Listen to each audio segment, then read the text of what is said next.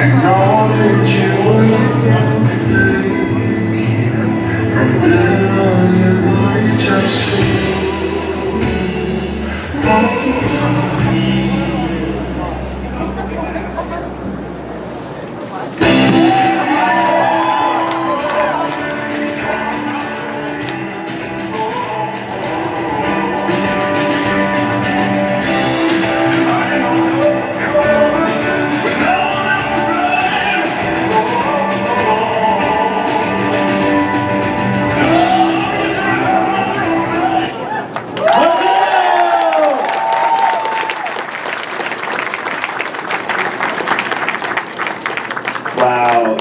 One thing I have to say about that performance is it was very fresh. It was a very fresh performance. I love, I love that. There was a lot of emotion behind every move.